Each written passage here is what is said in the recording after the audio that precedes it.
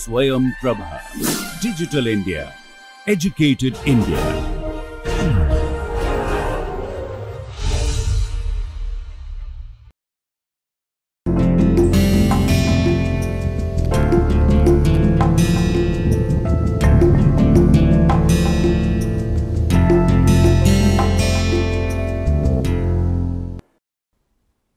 Yesterday when I closed the lecture uh, talking about convex sets, we had talked spoken about a lot of convex sets, the uh, various types of convex sets, their properties and we said that we are going to talk about convex functions today. But before we do so, let me start by telling you about a very important class of convex sets which is fundamental to optimization basically because it is a part of linear programming which is a very important part of optimization. So, these types of sets are called polyhedral sets.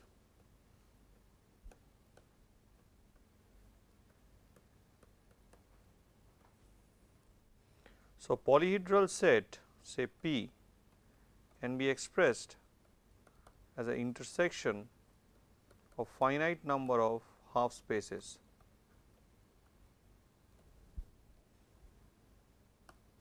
So, there is a i uh, where i belongs i runs from 1 to k or m or whatever some index basically.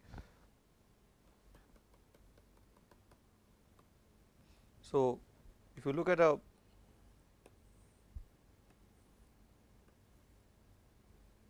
so for example, if you take something like this or this so, this for example, would be a polyhedral set right. So, the feasible sets of linear programming problems which we have already studied are always polyhedral.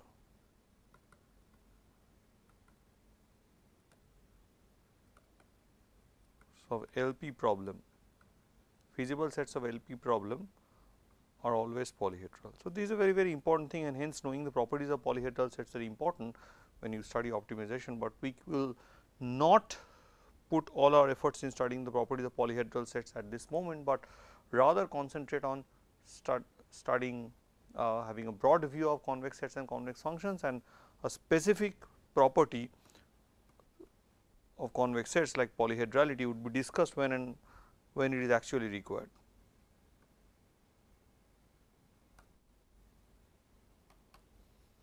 So, now we will start talking about convex functions. Now, I told you in, in the last part 1 lecture that okay, you can define a convex function over whole R n or you can define a convex function over a convex set C. So, it means there are certain convex functions which cannot be defined over the whole space. It, it cannot be defined over some parts of the set and can be defined only on a particular convex set belonging to R n. So, which but how do I unify this in a common framework and how do I say that okay, I will define every function every convex function on whole of R n rather than defining some for R on R n some on a particular convex set C. So, this will force us to introduce the notion of an extended valued function.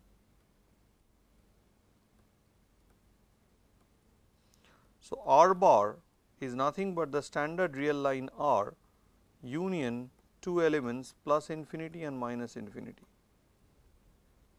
Of course, if you take any a as a real number, you have a plus infinity is equal to infinity plus a, this is one rule which is quite natural. A is element of R and A minus infinity minus infinity plus A is equal to infinity, so sorry minus infinity. So, these are standard rules which you can make out this adding if I keep on adding something very big to a number it will only grow or if I subtract a large huge amount from a number it will only keep on reducing. So, of course, the questions are with multiplication. So, if A is element of R a into infinity is equal to infinity into a, then what? Of course, it is equal to a if a is not equal to 0. See when I am taking a, a is element of R means I am not considering these two numbers right it is only here. Now the question is if a is equal to 0 what would happen? In convex analysis among the convex analysis there are controversies. In what to take, what is the meaning of this thing? 0 into infinity, what does this, what does it mean? Now, you must be wondering that okay, can we put it 0? Some say no, for convex analytic point of view possibly infinity is more meaningful, but we would follow the assumption or the rule taken by Rockafellar and Wets in their famous book variational analysis and we will consider it to be infinity. So, this convention, so this is a convention, this is not a mathematical certainty, it is convection, it is a con convention sorry.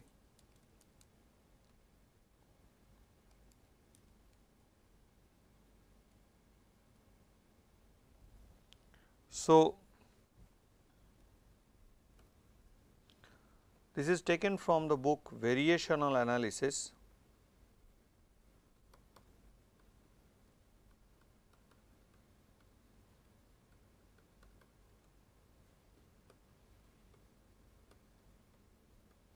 by the famous Terry Rockafellar and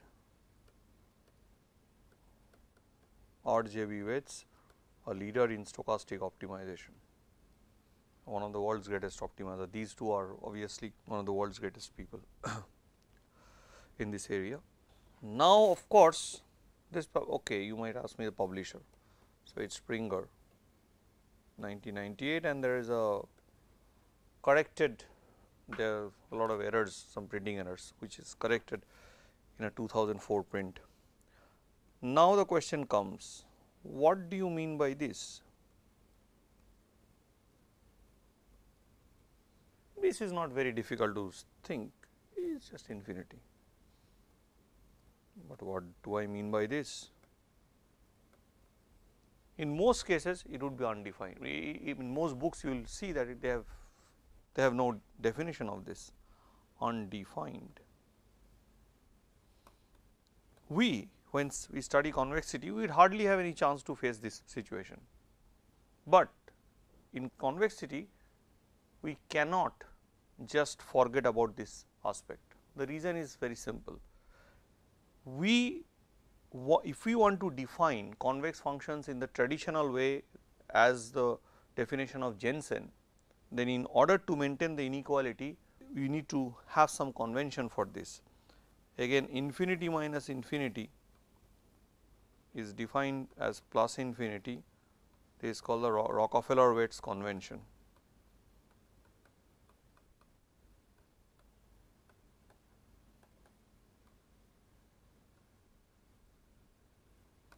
Now, you see so I can now take a function from R n to R bar and define it in this fashion. So, for any x y in R n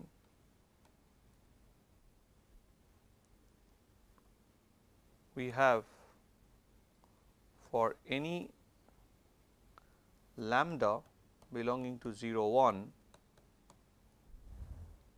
f of lambda y plus 1 minus lambda f of x sorry 1 minus lambda x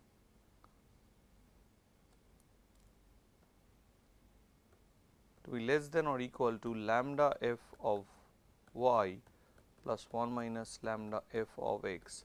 So, this definition you already know, but you see the this convention. So, this is not a t this is a plus.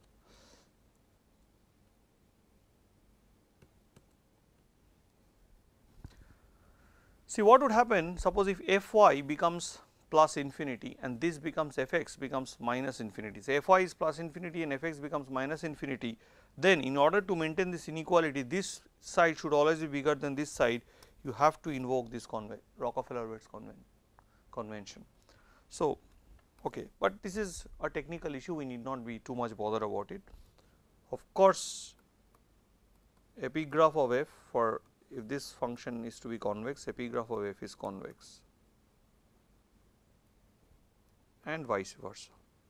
So, you might also define for such a class of functions epigraph of f to be con is the definition of convexity.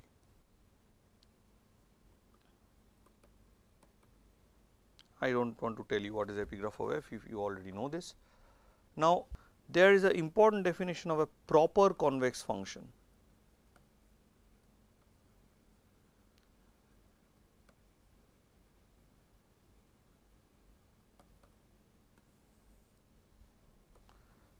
F is called proper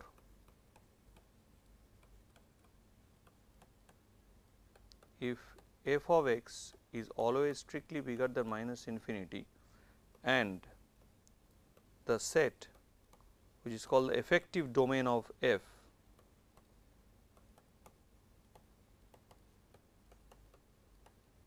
that is set of all x such that f x is strictly less than infinity that is the set of all x where f x is finite. So, there is at least one finite point this cannot be non empty this is called the effective domain. So, a convex function is called proper if this happens. So, we largely deal with proper convex functions. Now, you see how this definition will be effective. Now, this is actually this is unified the way you can look at convex functions. For example, if I define look at the function f x is equal to minus log of x where x is greater than 0. Now, you just look at log x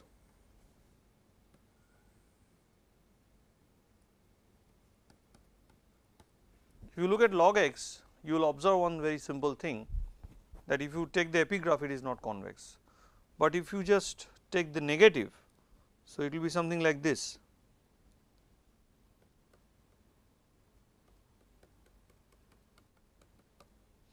Then the epigraph would be convex. So, this uh, function f x is a convex function, but it is not defined over whole of R n. So, in this case I can write the dom of f is a set of all x in R such that x is strictly bigger than 0. So, I can define the function like this f x is equal to minus log x when x is strictly bigger than 0 and I can define this as plus infinity if x is less than equal to 0. So, you see I now have a I can define log function in this specific fashion and this is a convex function. So, f from R n to R bar is a proper convex function.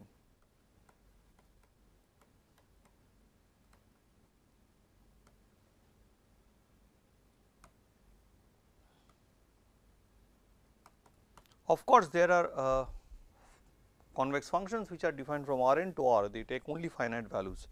For example, a very important class of function is the following.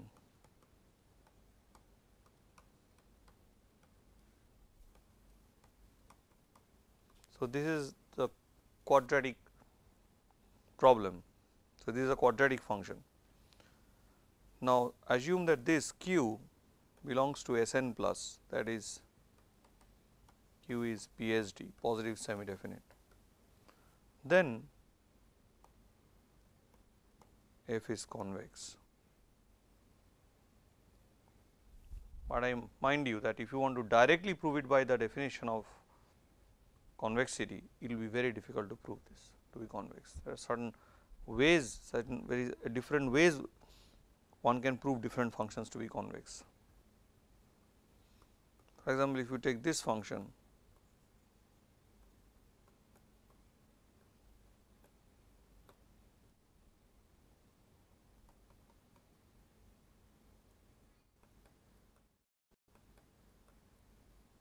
So, now look at this function this is an important uh, convex function called the negative entropy function. So, again its domain is R n the interior of R n plus.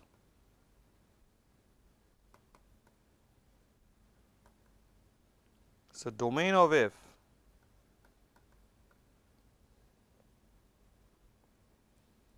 is set of all x in R n such that x i is strictly greater than 0 for all i. Maybe some more examples. For example, this standard function f x is equal to norm of x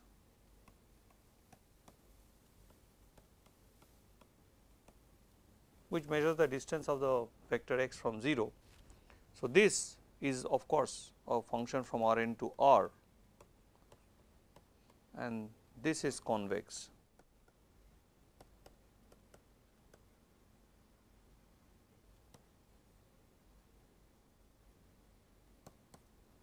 Another important class of convex functions which is very very useful when we do optimality conditions is the indicator function.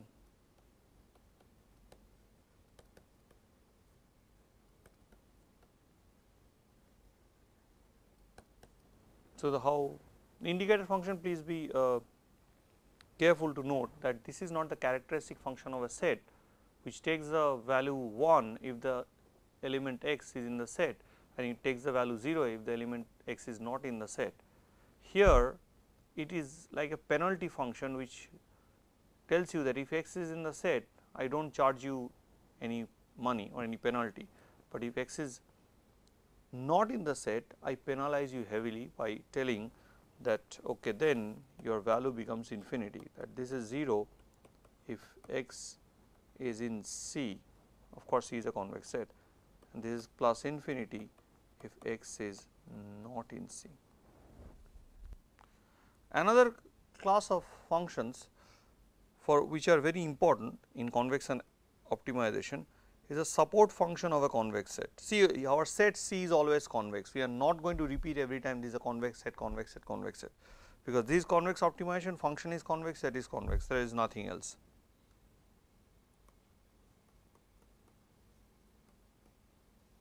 Support function of a set C is supremum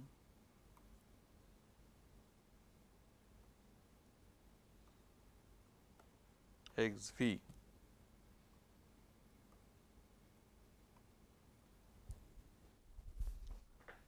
So, you are minimizing a linear functional over the set C, a convex set C. Now, if C is compact that is closed and bounded,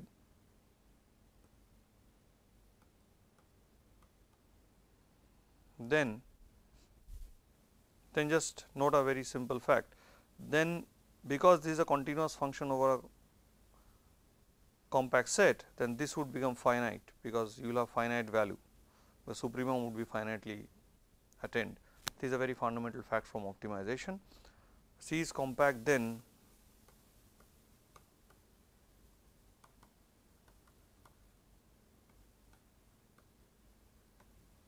But what happens if C is not finite? That is the question.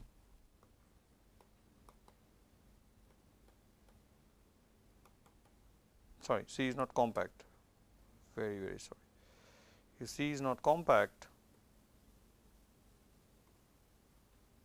sigma c may take the value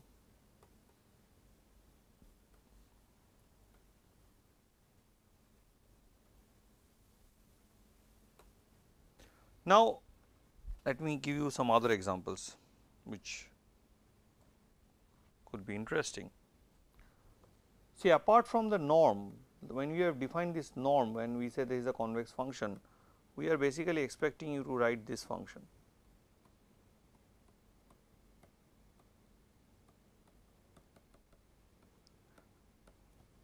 Basically it is a Euclidean norm. Now, in this case the unit ball defined by this norm it is norm of find every x such that norm of x is less than equal to 1 would be this round ball which we everyone knows. Now, this is called the one norm which is defined as the addition of the absolute value of the components. So, it is is also called the taxi cab norm or the Manhattan norm. Another all of these are by the way convex functions, all of these are convex functions and very very important convex function.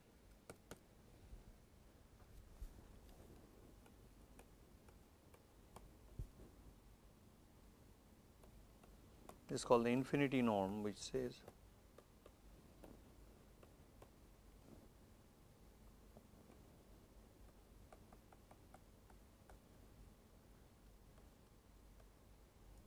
Of course, how homework prove that these functions are convex.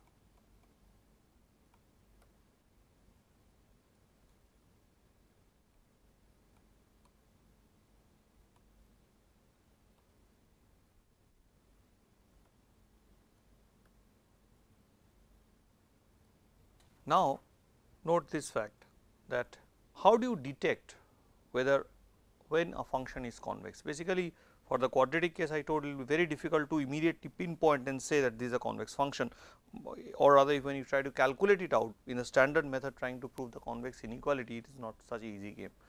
So, here let us find ways to detect convexity.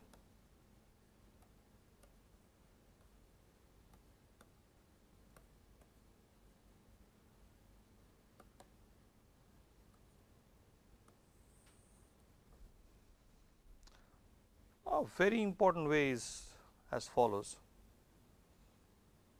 Let f be a twice continuously differentiable function.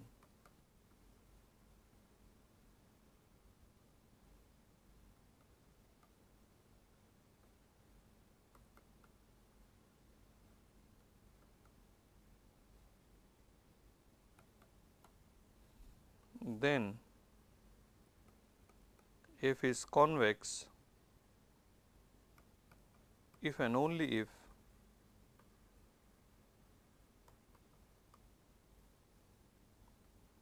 the Hessian matrix is PSD or positive semi definite at each x. So, this is I am talking about a finite valued function only or if you want over the dom f. Now, of course, I have not spoke told you what is the meaning of twice differentiability and what is the meaning of this term which I am calling as the Hessian matrix.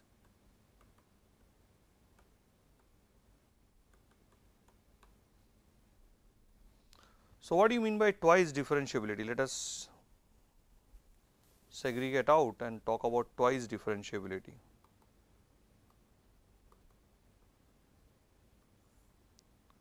So, a function is twice differentiable if you have this sort of an expansion.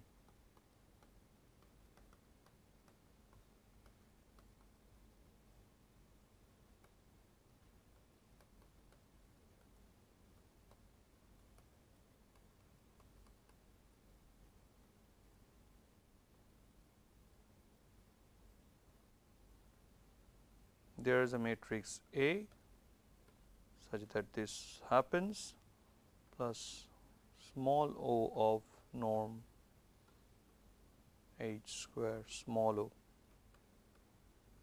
That is if we divide by norm h square and norm h square goes to 0 this this that ratio goes to 0. Now, A can be proved by simple calculations to be the Hessian matrix at x. Now, what is this what does this Hessian matrix look like?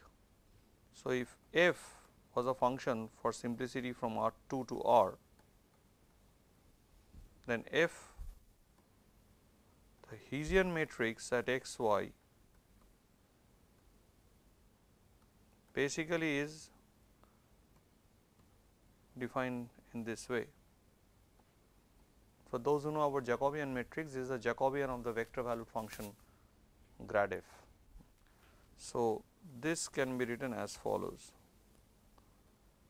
del square f del x 2 del square f del y del x del square f del x del y del square f del y 2. You see if this all of these things are continuous that is one when we say that the function is twice continuously differentiable we mean that all of these are continuous all the second order uh, mixed partial derivatives. So, which means that if that happens then this must be equal to this by Young's theorem and so then this matrix becomes symmetric. So, as a law in most cases when we are having twice continuously differentiable functions this matrix for f when f is twice continuously differentiable which we write in short as f element of C 2 then grad square f x y is symmetric and hence we can talk about PSD positive semi definiteness. Now, you see when I am talking about this I am talking about also the gradient naturally because it is the Taylor's expansion. But remember one thing, so now if I need to talk about this characterization, we need to talk about the characterization, the first order characterization in terms of the derivative for a convex function. Because you see if I use this characterization then what would happen if you take a quadratic function f x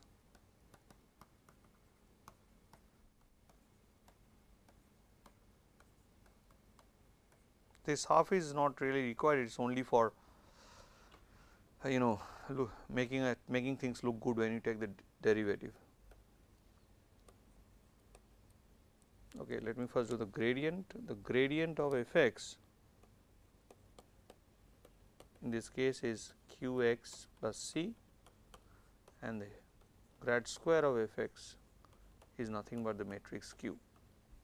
So, if q is PSD, if this is PSD positive semi definite then this thing actually holds that it is positive semi definite for each x in Rn and hence that will show that if q is PSD the quadratic function is convex. But in but if you really want to know the proof of this then we need to talk about how the gradient of a convex function is related to the convex function itself. So, suppose we want to tell something more about the convex function when the function is differentiable. In that case what we will do is that we will uh, do take this following thing. Let us look at this. So, let us look at f of lambda y plus 1 minus lambda x is less than lambda f y plus 1 minus lambda f x. This is obviously true for all lambda in the open interval 0 1 naturally because the problem is convex. Now, I can rearrange this a bit and write this as f of x plus lambda y minus x is less than lambda f y plus 1 minus lambda f x. But again assuming that this function is differentiable just once I do not bother about twice at this moment we can write this as f of x plus the gradient of f of x times lambda y minus x plus order of lambda is less than equal to lambda f y minus f x, I am rearranging this part plus f x. Now, you know I can cancel off this part and now divide both sides by lambda. So, I will cancel off this f x with this f x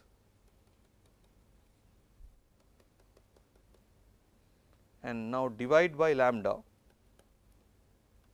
So, lambda is not 0 between 0 and 1 to get grad f x y minus x plus O lambda by lambda is less than equal to f y minus f x. Now, you know voila we are done we just have to take lambda going to 0. So, as lambda moves to 0 that is lambda becomes smaller and smaller we know that is lambda is positive and going down to 0.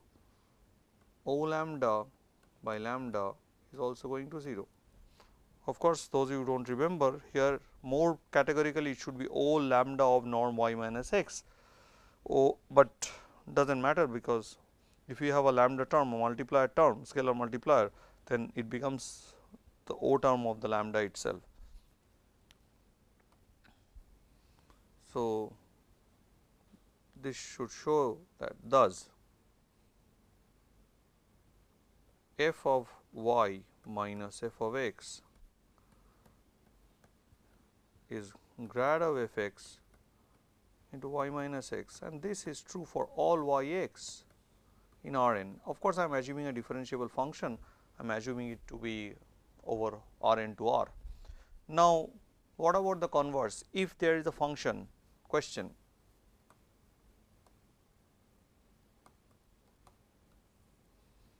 Now, if there is a function from R n to R.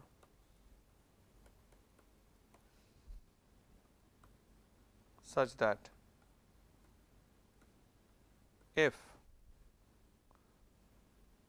is differentiable which I am writing in short as DIFF and for all x y element of R n we have f y minus f x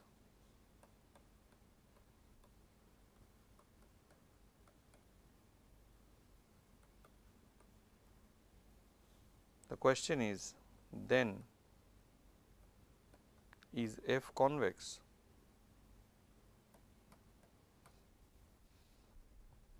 So, this homework I will give you the answer tomorrow.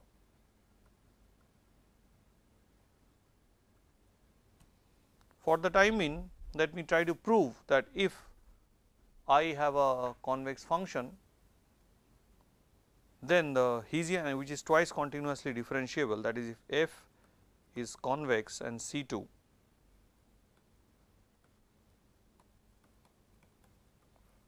this implies that the Hessian matrix this is PSD for all x. So, now we are going to prove this statement. So, we know that f is convex. So, let us just write it down. Take two points x and y. Now, instead of writing the convexity definition here, we will assume the, the we will make use of this one that f is in C 2 and write this as f x plus the gradient of f x lambda times y minus x plus half lambda square y minus x grad square f x into y minus x plus small o of lambda square. Now, look at this uh, fact. Now, here is where we will use convexity.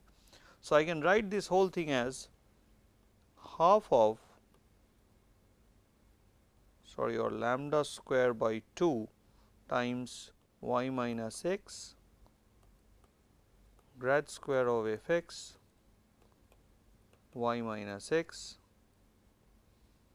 plus O of lambda square is equal to f of x plus lambda y minus x minus f x minus grad f x into lambda y minus x. But if you look at this just from here you can immediately know that this whole thing by the convexity of f is greater than 0 by convexity of f.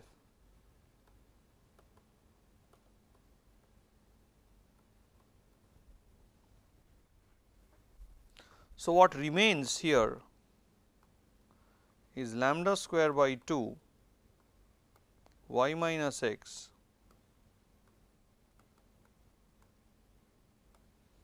grad square f x y minus x plus O lambda square is greater than equal to 0. Now, what do I do with this? Divide by lambda square, uh, let me okay, we choose a lambda of course between 0 and 1, this is a standard trick. Divide by lambda square and take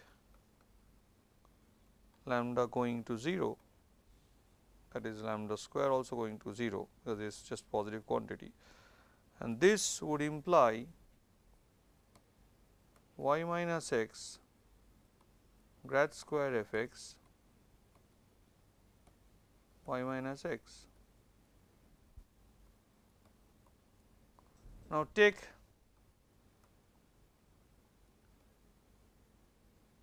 any w in R n and set because this y is any y in R n, y is equal to x plus w. This will show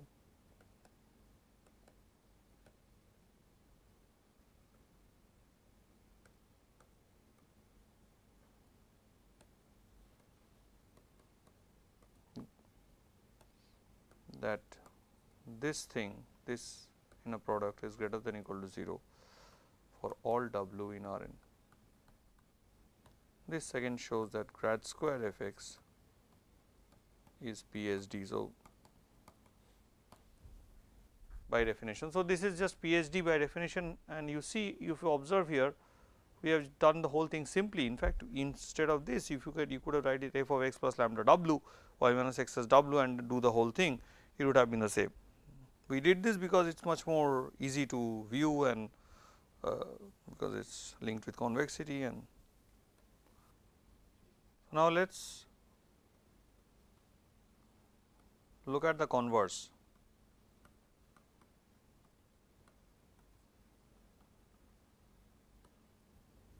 Now, you take any uh, x and y and then let us see what happens because this is given to be PSD for each x.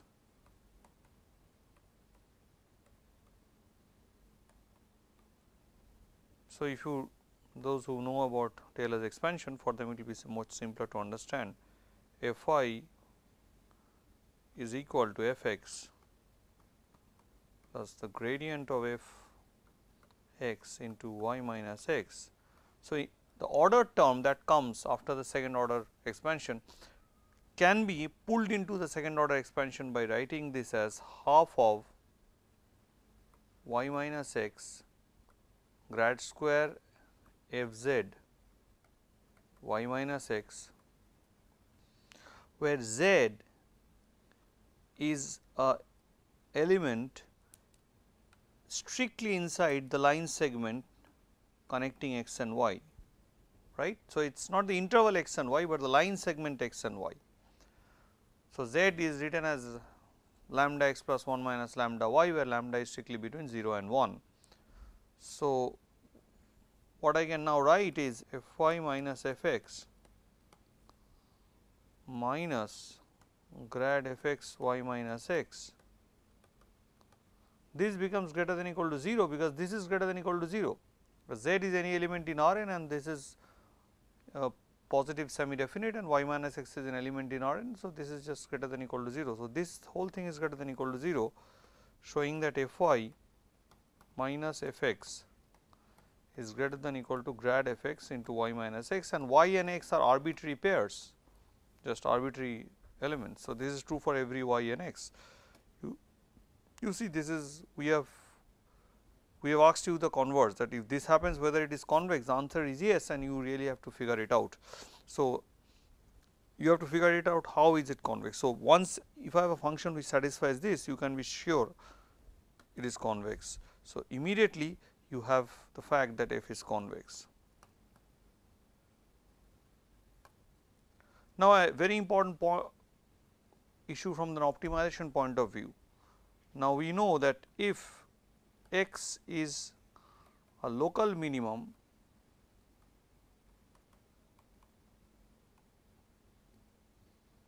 of a convex problem convex function it is also global.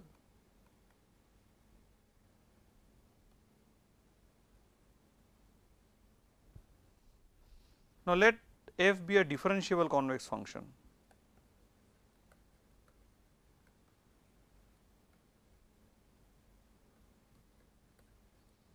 and x bar be x bar be a local minimum.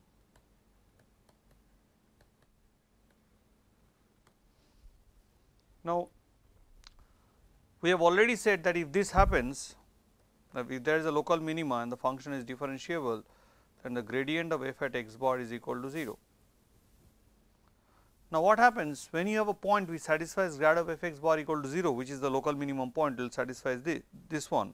But if the function is convex for any other x in R n, we can write the following thing. So, for any other x in R n whatever R n you take whatever x in R n you take not whatever R n sorry whatever R n whatever element in R n you take this result is true because of problem is convex. But you know that grad of f x bar is equal to 0. So, you can put in 0 here to obtain this inequality which proves that x bar is global.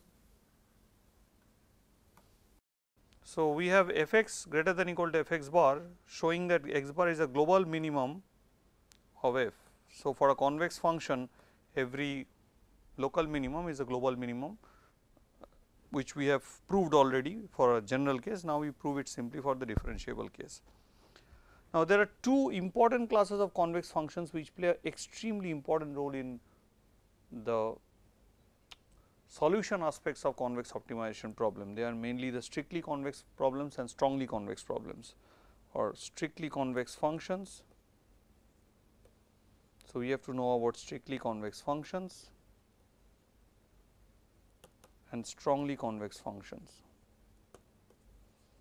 And by defining these two things, we will stop our discourse here for today. So, f from R n to R is strictly convex. If for x not equal to y we have f of lambda y plus 1 minus lambda x strictly less than lambda of f y plus 1 minus lambda of f x. But lambda has to be now restricted between 0 and 1. So, what is strongly convex?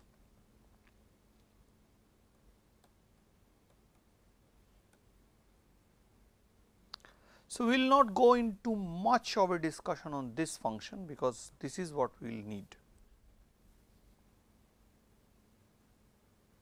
If for x y in R n. So, these are all functions from R n to R.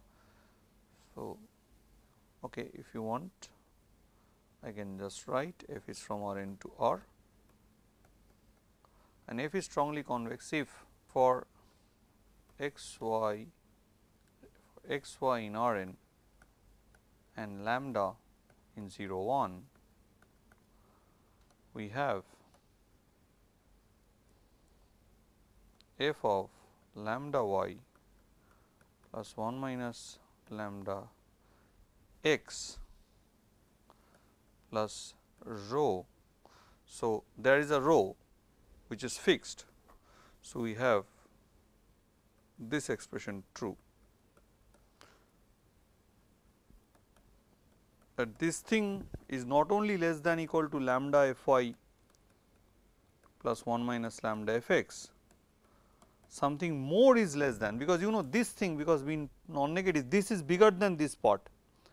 So, which means that this part anyway is smaller than this part mean this whole part. So, which means that every convex function sorry every strongly convex function is automatically convex. So, you have a larger class of functions strongly convex uh, sorry smaller class strongly convex functions they are contained in the class of convex functions. In fact, we will show that they are, they are actually contained in the class of strictly convex functions. We will leave it to you to prove this. So, because when x is not equal to y, this becomes a strict inequality.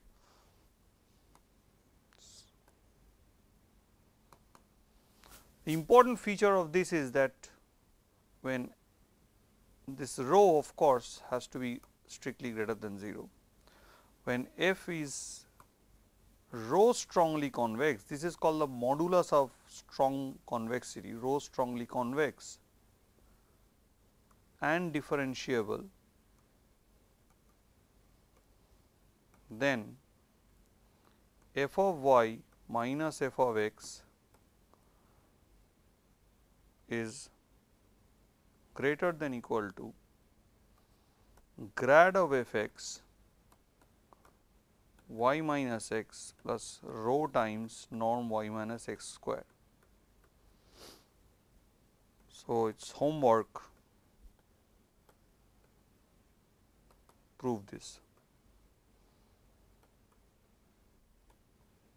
Now, once you have this, now I have the, reverse question converse. If I have a differentiable function which satisfies this property with some rho greater than 0 that is for every pair of y and x I have this expression true, then is the function convex. So, if for a given rho sorry if the function strongly convex or rho strongly convex if not just convex obviously it is, but if is the function rho strongly convex if for a given rho greater than 0 we have if I mark this as A we have A true for all x y in R n is f strongly convex with rho.